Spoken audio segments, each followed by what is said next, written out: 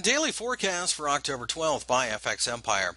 The dollar yen, as you can see, broke higher during the course of the day on uh, Friday, but truthfully, at this point in time, we're hanging about the 120 level. So, uh, with that, uh, it looks like a market that's kind of dead money. If we can get above the 121 level, we would be a buyer at that point. Uh, pullbacks uh, should find support down here at about 118 and a half, so we could buy a supportive candle below. Uh, no real interest in selling at this point in time.